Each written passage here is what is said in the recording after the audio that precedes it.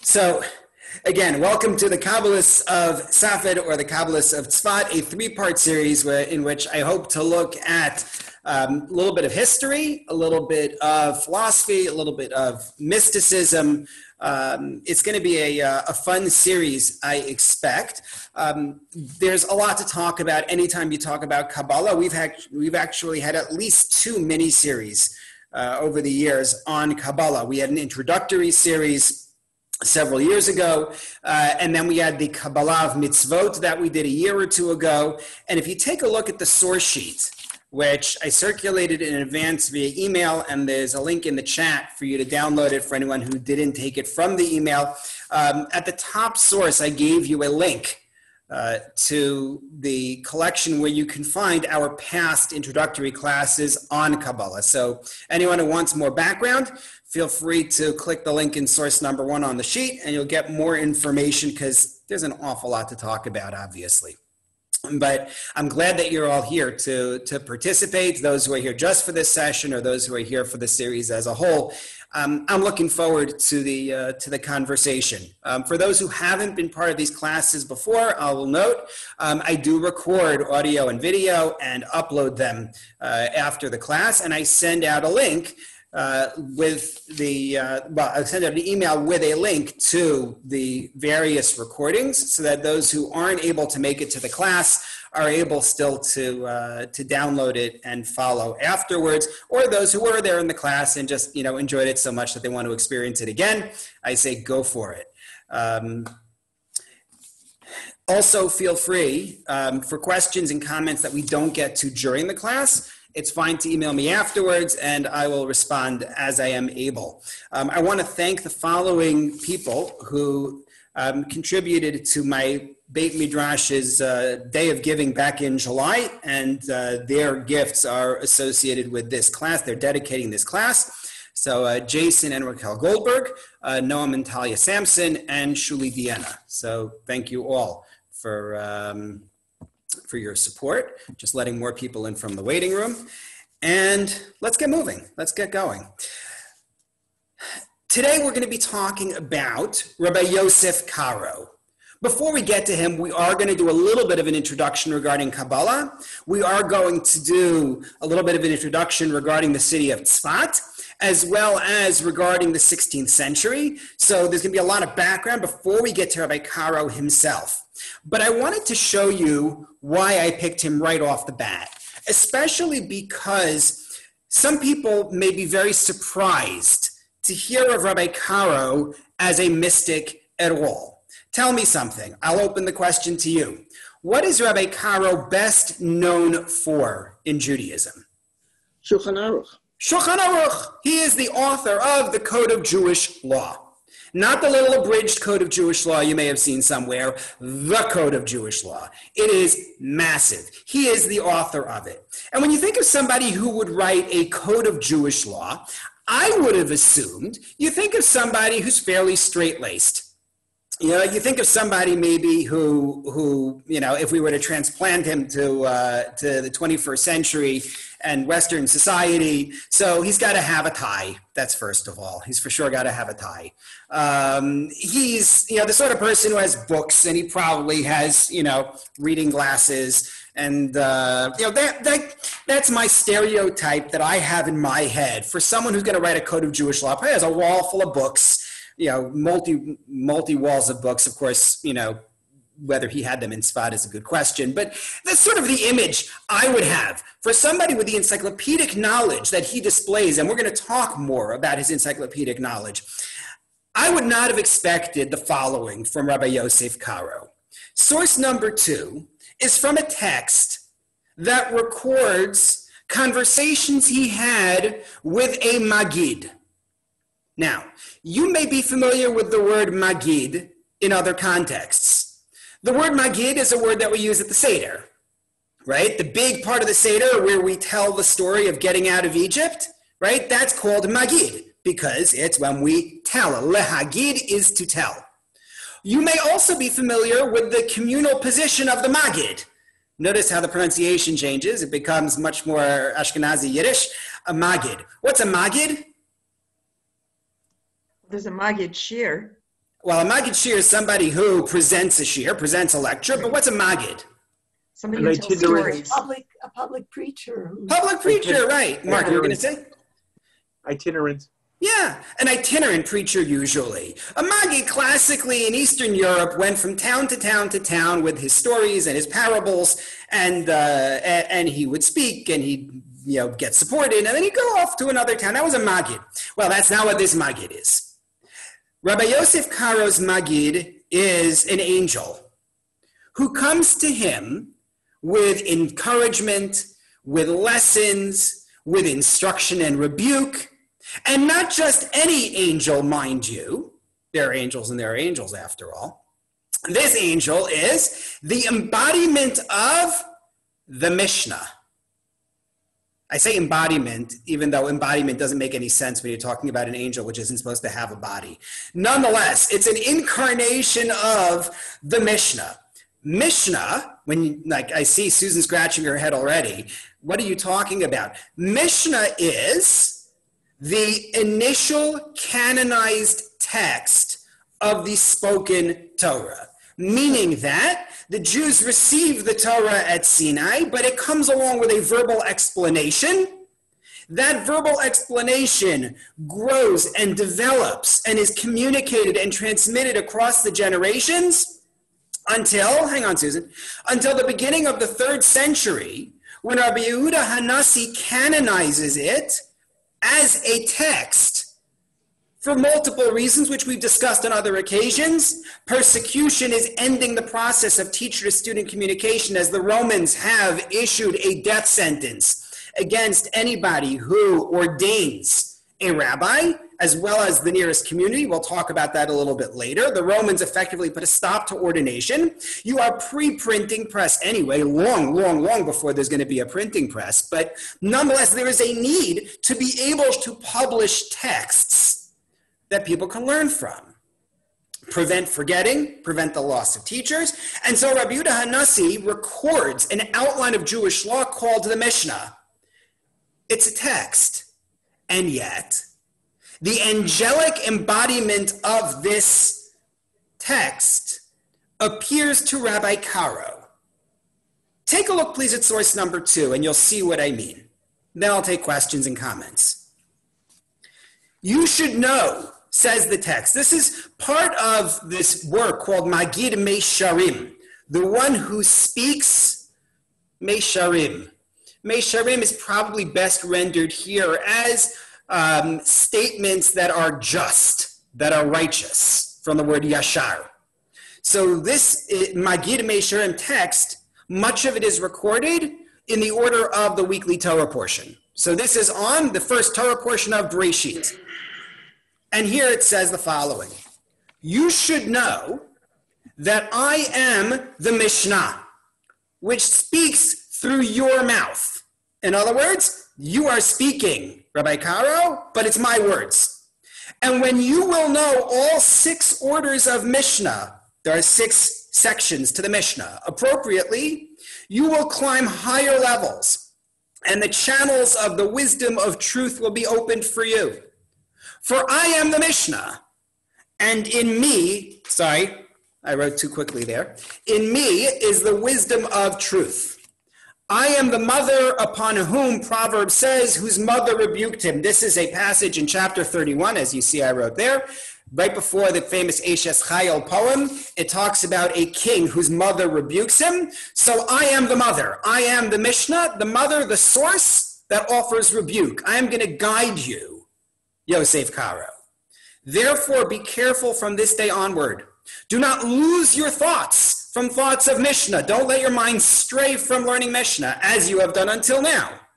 And even though the matters of law which you are involved in, writing this code of Jewish law, are good, learning Mishnah will take you to higher levels. Grab onto this and do not leave your hand from that either. That's a quote from Kohelet, from Ecclesiastes. For both are good as one. So someone sent me a note. Apparently, he missed the um, the posts in the chat with the source sheet. So I'm going to put the link one more time in the source sheet. But everyone, please download it when you can from the emails. It works a lot better than yeah, downloading it during the class. Um, Rose writes in the chat that it's interesting that he that the Mishnah here is identified as the mother and not the father. Um, I think there are numerous reasons for that, but Torah in general is worded in the feminine. The word Torah itself is feminine, as is the word Mishnah. So here we are told that Rabbi Caro is going to speak with the incarnation of the Mishnah, which promises him that when you learn Mishnah, you will become great. This is the same person who writes the Code of Jewish Law. There's a lot we need to unpack and understand here. Susan, you have been so patient. What's up? I want to know, is this, did he base it like the idea of the Kuzari? Because wasn't the Kuzari written by um, Rabbi, Rabbi Yehuda Halevi. who wrote, who did the Mishnah? So I was wondering if he Oh. was influenced by the Kuzari. Right, so two different people. The Mishnah is Rabbi Yehuda Hanasi, beginning of the third century. Kuzari is Rabbi Yehuda Halevi in the 11th century in Spain. So that would be after this. Um, before this, Rabbi, Rabbi Caro is 16th century. All right, so it'd Yeah, be yeah. before this, but there was no connection because it seems to sound like the same concept. Right. So, so no, I mean, in, in only in the sense that there's you know a dialogue going on in the Kuzari, and here it's presented not really a dialogue. Rabbi Caro isn't speaking. It's this this being that is speaking through him as he writes down the the words. So this this Magid is very odd. But what we're going to find out in the course of our discussion is number one, it's not as odd as you think. It's not as unusual, I should. It is as odd as you think, but it's not as unusual as you might think. And what in particular I want to get to is the remarkable fusion of Jewish law and mysticism expressed in Rabbi Caro's teachings. I'm going to show you a book that years ago I read and was very helpful for me. And since I'm on screen, I can actually show you. It's called Joseph Caro, Lawyer and Mystic by Rabbi Tzvi Werblowsky, Professor Tzvi Werblowsky, Professor of Comparative Religion at Hebrew U, many years ago. This is the second edition, and that was 1976 or 77. Um, I gave it to you also on the sheet. You can see in source number three. The um, so we, we have a lot to talk about but i credit that book with giving me my start in the uh, in the topic someone sent me a message in the chat wanting to know how the mishnah is related to my maimonides mishnah so maimonides actually wrote mishnah torah which is a little bit different although the words are linguistically connected meaning the mishnah literally comes from the word to learn lishnot to learn however it also has, so to speak, a secondary meaning in that the word shnayim, second, is connected potentially there. You review and you learn again, maybe. But Mishneh Torah is second Torah. And without going too far afield, what's the name in English slash Greek for the fifth book of the Chumash? Deuteronomy. Deuteronomy, which means Oh, it's learning? Or is it learning book or something? no. Deuteronomy is Oh, two. Deo, Deus. Second Second book of saying. Ezekiel. Good. Second Second, right. Deuteronomos, second law.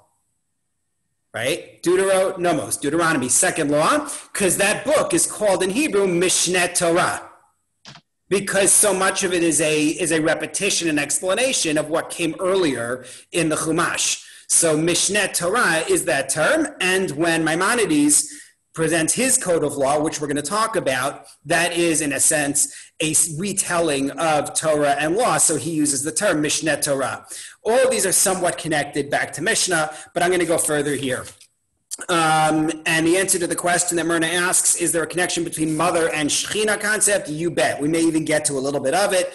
If not this week, then next week. Um, there is a connection to be made. Okay, so what we've introduced so far in the last 15 minutes is that Rabbi Caro is, on the one hand, author of the Code of Jewish Law. On the other hand, he's having conversations with, or he's hearing from, the embodiment of the Mishnah. Um, Mark, I see your hand. Um, is it something that can wait, or okay? Then I'm going I'll ask you to wait a little bit because I, I need to give a lot of introductory material here. So first of all, Kabbalah overall, we've talked about this before. The word means received tradition, a received tradition. Lekabel, to receive. Originally, Kabbalah is taught teacher to student, sometimes in a small group, but otherwise it's just literally one on one teacher to student. Hence the origin of the term a Kabal, right? A Kabal, as it's used, referring to a small group of initiates.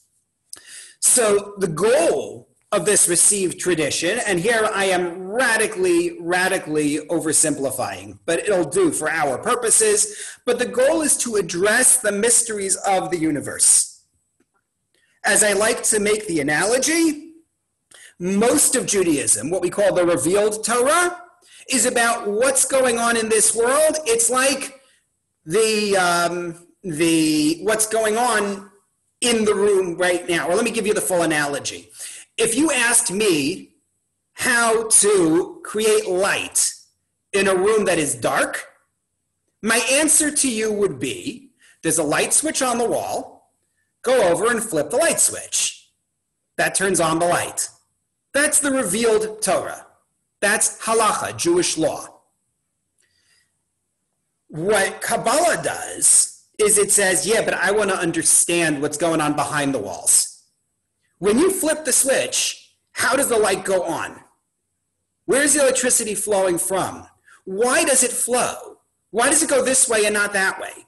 Kabbalah is trying to explain what's going on in the wires behind the walls. That's an oversimplification, but I think it's a good one. That's what this received tradition is, is, is offering to understand more about God, about interacting with God, about what God wants from the universe, all of that. However, for much of the history of Jewish thought, Jewish knowledge, Kabbalah was not something that was publicly known, discussed, disseminated it was something that was very private. We know it existed. That's very clear. So, for example, there is a statement of the Mishnah, actually, volume is called Chagiga, in which, going back to the Roman times, we are told that there is knowledge about the Merkava, the divine chariot, as is described in the book of Yechezkel of Ezekiel, but you're not allowed to teach it in public. You're only allowed to teach it teacher to student. So we're not going to tell you what it is.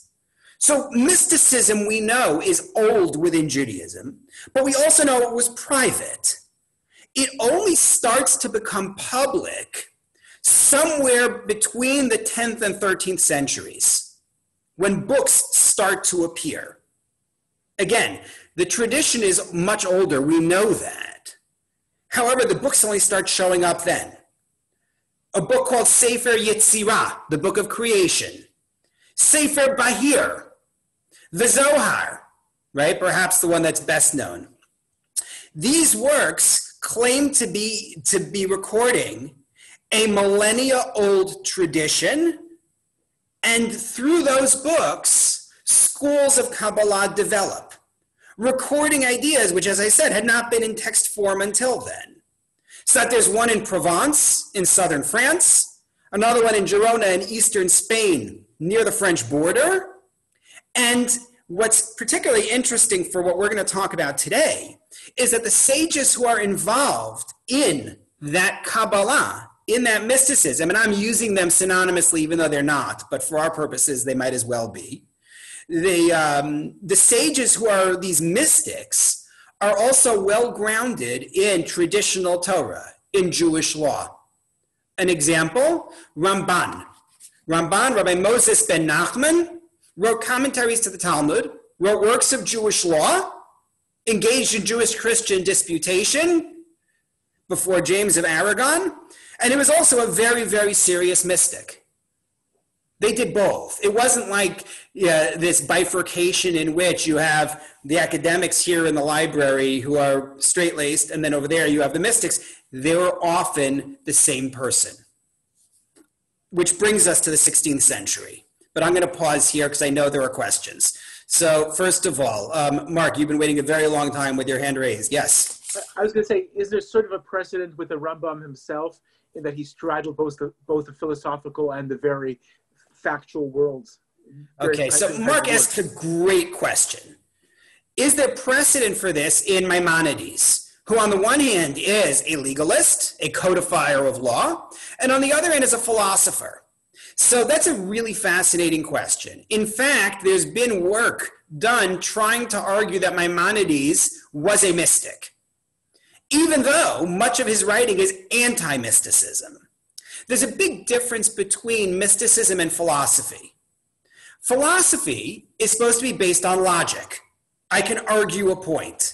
And while, as I've quoted elsewhere, um, I think it's William James who says the only thing philosophers can be counted on is to is to disagree with other philosophers. So that you know, for all the logic that all the philosophers bring to bear on the same data, somehow they all come to different conclusions. Nonetheless, it's all fundamentally about logic. Mysticism and certainly Kabbalah is about revelation. It's about a tradition. You're not supposed to be able to make up Kabbalah. Although it can be argued that there were Kabbalists who did so, and there's more to talk about in that regard when we talk about Rabbi Yitzchak Luria. But the the um, but Kabbalah is supposed to be by definition a received tradition, which would be the opposite of what Maimonides is into, because he wants you to argue logically, he wants you to argue philosophically, he wants you to argue rationally. So there are those who make the argument that he had a mystical tradition, but the burden of proof is really on them because so much of what he says is the opposite. Dahlia, you were going to say? No? Okay. So is this somewhat clear so far? I mean, we're talking Kabbalah. It's not supposed to be clear, but, you know, coherent is maybe a better word. Okay. So this brings us to the 16th century. The 16th century is a terrible time for Jews. This is a time of flight from persecution. You know, I, I, had somebody in a class of mine back when I lived in Pennsylvania who, who talked about how Jewish history just seems to be one tragedy and one disaster after another. And that's actually what historian Salo Baron called the lachrymose theory of Jewish history right? It's just tear filled. He was not into that idea, and I'm not into that idea because the truth of the matter is that there were a lot of heights and there were tremendous accomplishments and there were thriving communities as well. It's not true that we went from one disaster to another to another to another, suffering the whole way through. The um, but but if you had to pick an era for suffering, you, you picked a good one with the 16th century. Um, this really the suffering you can trace back centuries before that you had pogroms in Christian Europe going back to the time of the Black Plague, in which Jewish communities were blamed for the plague. And you had massacres in scattered parts of Muslim lands, depending on who was in charge at any given time. The Almohads we talked about a couple of years ago, they were certainly not our friends, but it's not just the Almohads, there were others. Um, then, of course, you have this, the, the Christian Inquisition, and then you have the Spanish expulsion in 1492, the Portuguese expulsion in 1496. Not to mention those who were there when we learned about Martin Luther. You had the Reformation and the hostility to Jews in, uh, in Christian Europe as a result of it. So the Catholics didn't like us, but the people who didn't like the Catholics didn't like us either, right? Disproving the idea that the enemy of my enemy is my friend? No, not necessarily, not when it's a Jew the um, it was really like this is not a good time for Jews. We are fleeing from persecution in all parts of Europe, in North Africa. It's not a good scene. So the upheaval of communities at this time leads to a few things. First of all, deterioration of access to rabbis and teachers right? You can't you can't communicate. You can't get get messages to uh, to to people to even to even ask questions. So that even though at this stage in history jewish authority tends to be decentralized you have rabbis in different communities and they're supposed to take care of their communities. It's not like you're writing away to a central authority somewhere. Nonetheless communication between communities is decreased, and the deterioration of access from community to community results in a weakening of traditional views and traditional institutions. That's number one. Number two, the utter failure of rationalism to explain people's suffering, right? Meaning, in a normal time, one would expect, the, um, the yeah, you sort of you can look at the world in a rational way and say god wants me to do x and so i do it. And even if there are things that i don't understand basically the world is functioning in a way that i can accept and deal with and work with. When the greatest leaders you have and the greatest institutions you have prove just as vulnerable as everybody else to turmoil and to torture they um, yeah you just you can't explain what's going on rationally. It's not working and people turn to other ideas to explain their suffering. This is also a time of a major growth in messianism. The belief that mashiach is coming any day. Now jews are supposed to believe that always we're always supposed to believe that mashiach is coming any day but this is a time when people are sure that it's right around the corner, in part because it's got to be. like, how can things get any worse and how are we going to survive? But also because there were predictions made by leading figures that Mashiach was coming. Don Isaac Abarbanel, leader of the Jews in Spain before the expulsion, right, who actually managed single handedly to delay the expulsion for years because of his influence in Spain he predicted that Mashiach was coming in 1502 based on calculations that came from the book of Daniel. And then when he didn't come 1502, he realized, no, wait, I, I made a mistake. It's 1503. And then 1504. And, you know, at a certain point, you just stop because it's just year after year after year. But the, um, but the predictions are fascinating and the verses they're based on are fascinating. It's just beyond the scope of what we're going to get to. But the point is that you have these predictions of Mashiach, of the Messiah. And of course, after the time that we are discussing in the 17th century, that brings us what? Sorry? Shabtai Tzvi. Shabtai Tzvi. Correct. The false Messiah, Shabtai Tzvi, rides this wave of messianism. So this messianism becomes a very strong theme in the Kabbalah, the mysticism of the city of Tzfat. So this is just a little bit of background on the world we're dealing with. The, um, the Kabbalah of the time is fueled by the persecution the Jews are experiencing. But a little bit more geography and history is necessary. In the early 15th century, before you get to this era that we're talking about, where were the centers of Jewry? Go back to the beginning of the 1400s. Where were the centers of Jewish life? Susan, you're muted. Well, there was in Spain, but France wasn't there also? So you had a center in Spain. France is not strong at that point anymore, but you had Jews in both Muslim Spain and Christian Spain in the early 15th century. Where else? Dahlia, you're muted. Poland. Poland, that's correct. Jews had fled from the pogroms that resulted from the Black Death and founded communities in Poland. They were helped by King Casimir in the uh, in the 14th century, building on a couple of things that actually preceded him, but becoming much more open to accepting Jews there. So Poland has become to be has become a, uh, a major center. What about In Germany. Germany. So Germany is not at that stage. That's the place people are fleeing from pogroms at that point to go to How, Poland. how about Holland? Holland, not yet. No, Holland is a good question, Diane. Holland will become a major center for Jews after the expulsion from Spain. How about England? No, no. England does not allow Jews at that point. How point. about Tzvat? England kicked us out by then. So we're getting to Tzfat.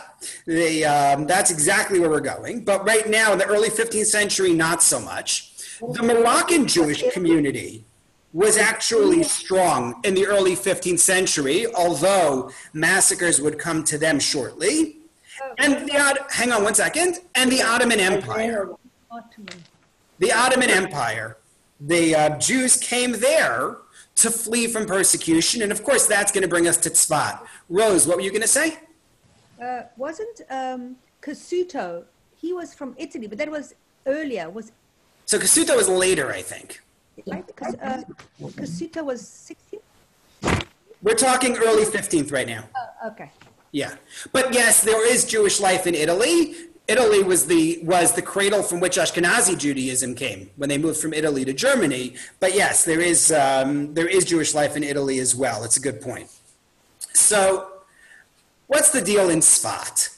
Now let's talk Sfat. So on your sheet, if you see source number four, I gave you a map helping you to locate Sfat in Israel. It was a big, big pain trying to find a map that didn't insist on marking off the Golan Heights as something other than Israel. And I finally just gave up. The, uh, and I just took this graphic from Wikimedia Commons. The, um, you can see it's not even, you know, eh, whatever. It is what it is. They, um, I just want a map. I don't want your, your political statements. So you can see Tzfat is way up in northern Israel. That water blob there is what? Kinneret. The Kinneret, thank you. So the um, Tzfat is north of that, right? If you want to get cold in Israel, you want to have a good chance of seeing snow, that's where you want to be. So the, um, that's where Tzfat is. This is not for people who are making pilgrimages to Jerusalem. This is way north off the beaten path. It was actually known as the key to the Galil, Galil being northern Israel, in the Crusader era. The Crusaders took it over back in 1140 and built a fortress there. And then, of course, the Muslims came through under Saladin and remained there even after the Crusaders came back. The, um, that was a back and forth. But the Jews were kicked out by the Crusaders in 1140, came back with Saladin, and settled in that area. Muslims destroy the Crusader fortress in the year 1266.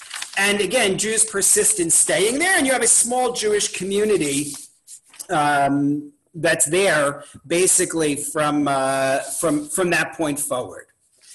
You hit the 16th century, and Jews come to Tzfat in a big, big way. In general, as I said, they're coming to the Ottoman Empire anyway, fleeing expulsion. Um, they, they, uh, and, and so you actually have Sephardi community, and you even have an Ashkenazi community there. Um, but there are at least three factors for why they want to come to Tzfat. Take a look at source number five, where we get one from Professor Werblowsky. He says, by the time Caro, that's Rabbi Yosef Caro, who we're going to be talking about, by the time Caro arrived, I'm going to keep saying Tzfat, even though I wrote Safed. I hope that's not confusing. I have a hard time saying Safed. Um, by the time Caro arrived in Tzfat, this insignificant Galilean village had developed to a flourishing Jewish center and was on the verge of becoming the Mecca of Jewish piety. There's a little irony there in, uh, in calling it the Mecca, especially with a capital M. They, uh, nonetheless, hope the Saudis are okay with it. Scholars and saints from Salonika, Adrianople, and other centers of the Sephardi diaspora were joined by pious men from Ashkenazi countries, Germany, Poland, Moravia, etc. So one reason for people to come to Tzfat is that people have already been coming to Tzfat. A nucleus already exists, and not just of people, but of leaders. Another reason to go to Tzfat is that there are holy sites in the area, and one particular grave which people still go to today. What's in that area? Anybody know? Dahlia, you're oh. muted. The Arizal is there, and Well, the Ari wouldn't have been there yet. I know, but I'm saying there's that whole area where he was. Rush, Rashbi. Right, Rashbi, Rabbi Shimon Bar Yochai. Bar Yochai, Bar Yochai. Rabbi Shimon Bar Yochai is buried in Meron, which is right there, and people were going there even back then. What Tiberias? So, um, sorry, what? I muted everybody, and I think I muted someone who was saying something. Tiberias? Isn't Right. Maimonides a Tiberias? Right, Maimonides' grave is there in Tiberias. This is also true. I don't think people quite went to his grave in the same way. Um, again, that goes back to his, his relationship to mysticism. But Rabbi Shir Bar Yochai is considered to be the founder of, uh, of mysticism in many ways. He is credited with the writing, if not the full Zohar, then a kernel of it. The, um, so that becomes a site for pilgrimage. And also the fact that it's off the beaten track. It's away from the urban areas. Mystics engage in what's called hitbodidut. They want to go off in seclusion, be on their own. They um, not necessarily enforced kind of social distancing that we're more familiar with, but like by choice. They will go off to be on their own, and they're going to go up to a place like Tzfat. So those are those are some of the factors that bring people there, and in particular, why mystics will uh, will go there. You have a core group already. You have holy sites in the area, and it's a great place on TripAdvisor when they want to know like number of places for mysticism to go. This for mystics to go. Number one for mystics is definitely Tzfat. There's a lot to do in the area. So that brings us to Rabbi Yosef Karo. At last, it took me 35 minutes, but that's fine. So Rabbi Karo comes from a rabbinic family from Toledo, Spain.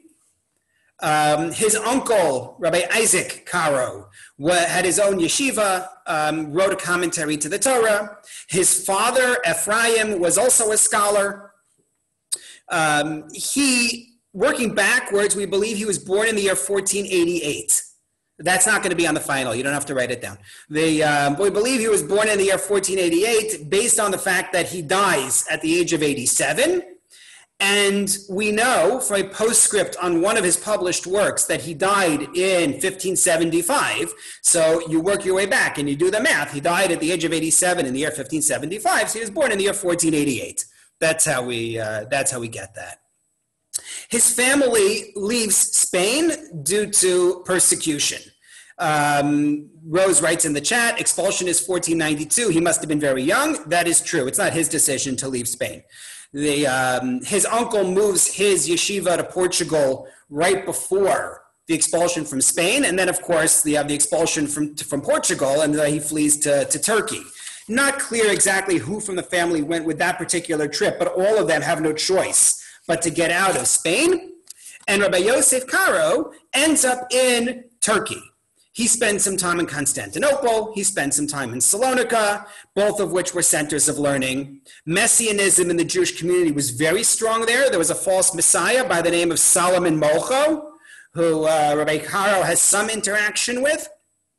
He was in Egypt, it appears, in the year 1511. We know that because of a tangential issue. The, uh, there's debate about the calculation of the sabbatical year, the Shemitah year and there was a debate about the status of the year 1511, and he was in Egypt at that, uh, at that time. By the mid 1530s, so he's already somewhere in his mid 40s, he's on his way to Israel. He likely arrives in the year 1536. Now, if this were purely a history and biography discussion, I would get into the very interesting question of his wives He's married at least three times based on the writing in the Maggid, actually. Um, it is unclear whether this was polygamous or sequential. We don't know. Keeping in mind that the Ashkenazi community has not engaged in polygamy for 500 years, you know, more than that by the time he shows up, but he's not from the Ashkenazi community. So it's not clear whether this would have been um, polygamy or not. The Ashkenazi community is done with it. I, polygamy was never widespread in the Jewish world, meaning you go back to the Talmud and you can't find a single sage who is polygamous. There's one discussion in the Talmud in the volume called Yoma about a, a sage who was traveling from one place to another, and maybe he had another wife in the place he was going to. That's a whole discussion in its own right. But it wasn't a, a, a case of a man having multiple wives. It wasn't a popular thing to do for a variety of reasons. Um, but in any case, what I want to focus on with Rabbi Caro is really his intellectual legacy the um, that's really where I want to uh, where I want to focus. Um, I picked him for our series because he stands as a remarkable example of how, as we said at the beginning, Kabbalah and Jewish law could coincide in a single figure. That's the, um, that's the chief mystical idea that I want to focus on is this fusion of the two sides. So let's talk about him as a leader in terms of Jewish law. Right? Everybody with me still? Haven't uh, okay? Haven't haven't you know tried hard enough to lose you yet? The um, if you take a look, by the way, at the end of the source sheet, you see my review questions. So we've covered the first two. Right? Why was the 16th century ripe for the growth of Kabbalah? And the uh, and our answers are the upheaval of traditional authority, the failure of rationalism to explain the world, and growth of messianism. And then why did Jews come to Tzfat as opposed to other parts of the Ottoman Empire? So it would have been the fact that you had a nucleus there, you had holy sites there, and hitbodedut, the opportunity for, for people to, uh, to go off on their own and, uh, and meditate. Okay, now let's talk about Rabbi Karo as an authority in Jewish law. When he arrives in Tzfat, he is recognized immediately as the leading rabbinical authority in town. He is already very well known by this time. Even those who disagreed with his rulings nonetheless recognized him. At first, he seems to have been in charge of a very large community, and then there were political issues, and he ended up in, uh, in a smaller community. He set up his own yeshiva, his own academy. He had about 200 students who would go to his lectures, and he became involved as a communal leader as well. But he's best known, as Susan mentioned in the beginning, for Shulchan Aruch, but not just for Shulchan Aruch. He's actually known for three uh, major works of Jewish law, which require a bit of explanation. I'm going to discuss them in the order in which he published them, which may be a little confusing because they reflect different eras a little bit, but I'm going based on his, his writing. So the first text of his that becomes, so to speak, a major hit is called the Beit Yosef. So this requires a little bit of explanation. So we're going to do a little history of Judaism. We mentioned that the Mishnah is written down, this first outline of the spoken Torah, in the beginning of the third century Common Era. That's the Mishnah. Then the rabbis expand on that with a lot of discussion, legal discussion, discussion about all sorts of stuff that has nothing to do with law. And that becomes canonized in the sixth century as Gemara. Mishnah plus Gemara equals Talmud. So by the sixth century, that's done. Which means if I am a Jew living in the sixth, seventh century, what do I do if I have a question in Jewish law? I don't know what I'm supposed to do about something. Well, I could try reading up in the Talmud. It's really, really hard, though, to get any conclusions out of the Talmud. The Talmud is not always interested in providing clear answers. As a matter of fact, I would go so far as to say it's rarely interested in providing clear answers. It's not, it's not what it's for. Historically, rank and file Jews did not study Talmud. It's awfully hard to study. The goal of the Talmud was to present legal discussions. And if you are versed in it, if you're expert in it, you can arrive at law from there. So, what did you do if you had a question? You wrote a letter to the Gaon. The Gaonim were the heads of the academies. There was one in Baghdad. Well, there, there, are a couple in, in uh, the Baghdad area. You had in North Africa. You had one in Israel for a time. The, um, you go, you, you send your letter away. Eventually, though, that stops being an adequate solution to the problem. The Gaonic system collapses over a period of about 200 years, such that by the time you get to the end of the 11th century, you can't write letters to the Gaon anymore. The Gaonic system is falling apart. And instead, you have a decentralized system in which communities have rabbis.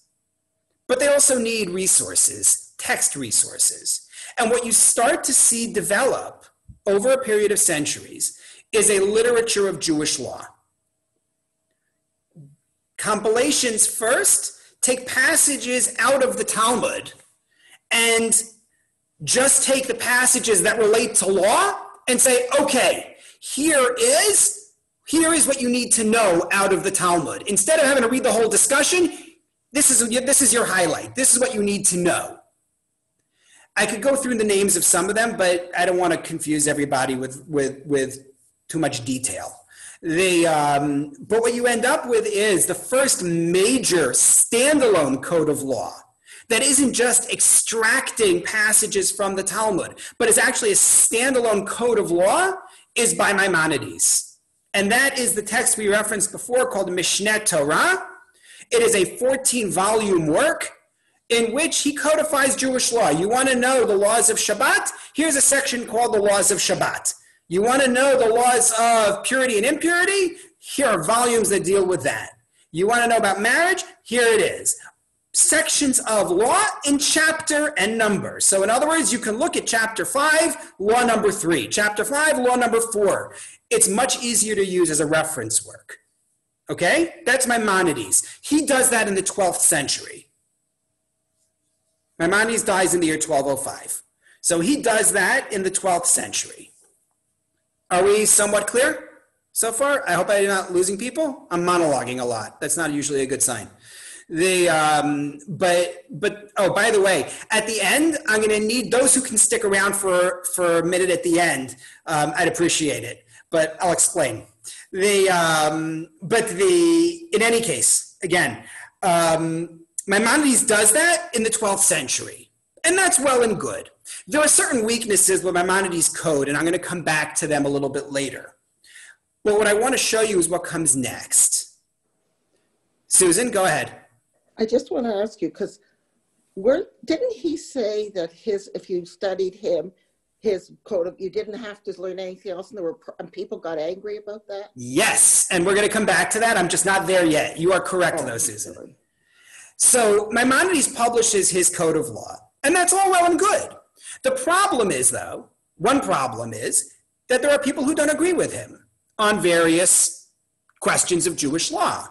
Not like major, major big deal issues, so to speak, that are like, you know, throw his code out, but they disagree with him on points of law. Other sages, one is known as Rashba, Rabbi Shlomo ibn Aderet. Another one is known as Rabbeinu Asher. He has his own views. There's Ramban, who I mentioned earlier, Nachmanides. There are disputes. So along comes Rabbeinu Yaakov, Baal Haturim, as he is called, and he puts together a different code of law called the Tur. You're talking now, I believe, end of the 13th century, beginning of the 14th century. No, it had to be well into the 14th century, actually, is when he does this. And the Tur arranges Jewish law in a different way. I don't want to you know, go into too much detail with this because I think I'll lose people for real. The, um, but he has a different way in which he structures his presentation. It's a whole new code of law. And what he does that's novel is instead of simply saying, here are my views, he says, on this issue, Rabbi so and so says this, and Rabbi so and so says that. He's trying to give you more of a range. And then he says, and here's what I think we ought to do. But he's giving you more than just what Maimonides did, which was here's what you do on X. Well, the first major work of law by Rabbi Caro is a commentary to that. Why did he write a commentary, this Beit Yosef commentary? Take a look on your sheet at source number six, please. This is from his introduction. I'm, I'm sorry, it's a commentary to the Tur? Yes, to the Tur. Okay, thank you. Take a look at source number six, where he writes in his introduction why he's doing this. He says, when a long period of pa- uh, when a long period of time passed, we were poured from vessel to vessel. We traveled in exile. Many pains bound together in sequence, rivals to each other, befell us. He writes in very poetic Hebrew, which doesn't translate well into English. I apologize. To the point that in our sins, the verse, the wisdom of its sages was lost, was fulfilled in us. We forgot so much, he says. We've been tossed around from place to place in our exile. We've suffered so much. People have not been able to study. They don't have communication. We've lost so much information. The hand of Torah and its students was lost. For Torah was not made like two Torahs, but like infinite Torahs. Because everyone has different ideas and different different uh, rulings. Because the many books explaining her statutes and laws. Note, by the way, again, Torah in the feminine, her statutes and laws. So he says, I decided to compose a book collecting all the practical laws with explanation of their roots and sources from the Talmud, with all of the disputes of the legal authorities, none would be left out. He says, You know what I did? I reverse engineered the Tur. The Tur gave you here's an issue, here are a couple of opinions, here's what we do. I wrote my Beit Yosef commentary that goes along with the Tur to show you where he got it from. It's a legal history for these exiled Jews. Clear? But he's not done. Because then what he does is based on that, he writes what we mentioned earlier the Shulchan Aruch, the Code of Jewish Law. He says, I want to give you just a quick reference to Jewish law. Take a look at source number seven. He says, I saw in my heart that it would be good to collect the lilies, the sapphires of his words his words meaning the uh, the the Tur that came before him. Excuse me, that would be T U R Tur. Yes, oh, it's written in Hebrew, but yeah, yes, T U R is usually the way we write it. Yeah, you're right.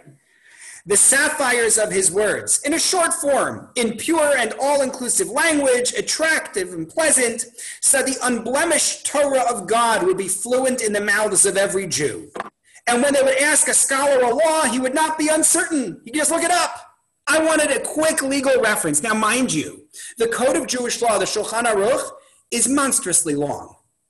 Not, I mean, like seriously long. If I if I were in a different space, I would actually show you the number of books we're talking about that that it takes. The um, but it, it's yeah, it's giant.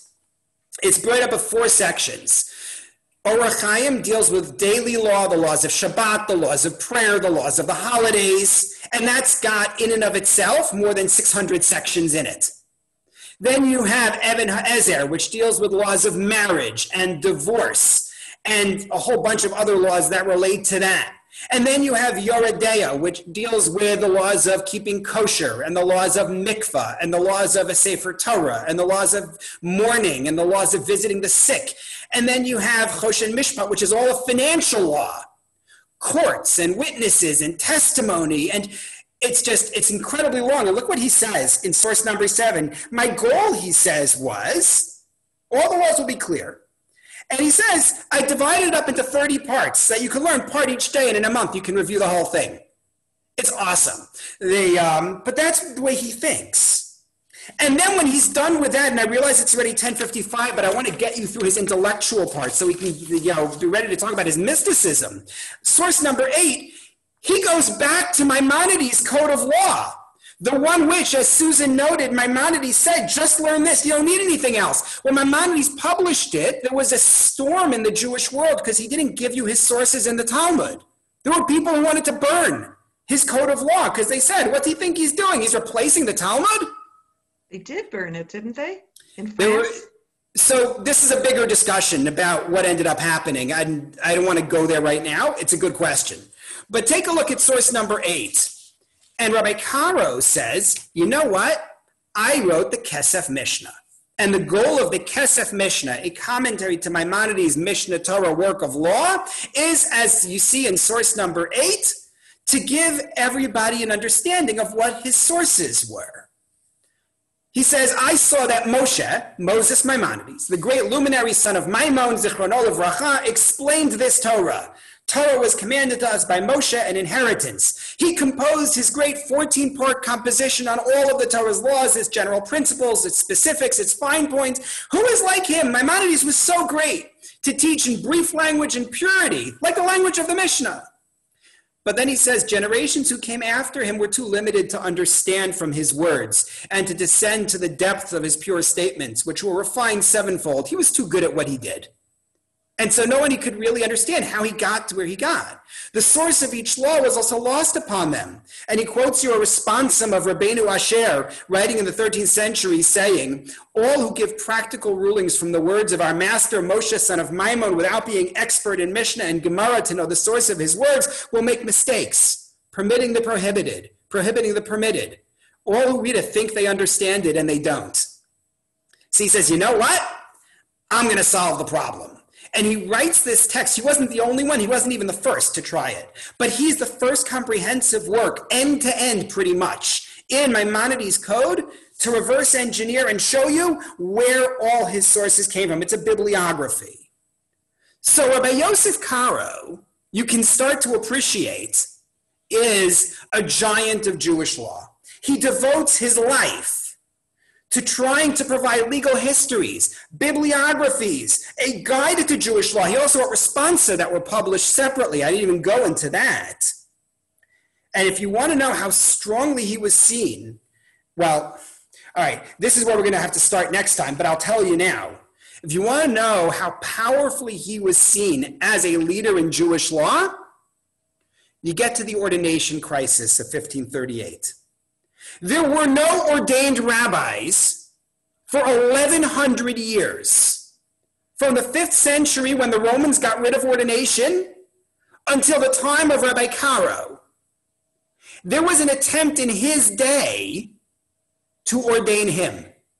Not just him, there were a few with him, but that's what I want to pick up next time. He was seen as a giant, a giant unlike any other, really, in Jewish law. In this time of messianism, in this time of turmoil, he was a light for people. Go back for now to source number two, please, because he's also somebody who's having a conversation with an angel representing the Mishnah, which represents the Mishnah and says, I'm going to give you instruction. And what I want to do, which we're going to have to start with next time, is to understand how is it that somebody is, on the one hand, lawyer, as Professor Werblowsky calls him, lawyer par excellence, and at the same time, a very serious mystic. How do those blend? Why do they blend? And what does that teach us about Judaism? So, what I want to do next time is pick up with this ordination controversy. Now, as I've done in other classes, I'm going to stick around for, for a while to answer questions and, and all of that. But also, I'm going to have one moment where I'm going to ask people to do me a favor um, after we stop the recording. But um, first, I'll take I'll take a couple of questions first. It's 10:59, so I'll take a couple of questions first, then pause for a moment for something, and then continue with questions. That's the way we'll work it. Those who have to go, please, you know, by all means, you committed an hour. You've given an hour. Yes, Rose. You have to unmute. No. Uh, so, in other words, in summary, you're saying the Shulchan Aruch is a, a explanation and detailing of the Mishnah Torah. Is that in a simple way? So of, it's really more. It's no. I, I I spoke too quickly. If that's what what I what I said, the um, the Shulchan Aruch is an attempt to provide a quick reference guide to Jewish law, and it's based more on the Torah than on the Mishnah Torah. On the Tur. Okay. Yeah. Okay, I understand. That's what I would say. Thank you. Yeah. Um, okay, so I'm going to actually pause for a moment here, and and um, and I'm going to ask you to those who can stay for a minute if I could have a favor, and I'll explain. So I'm just going to.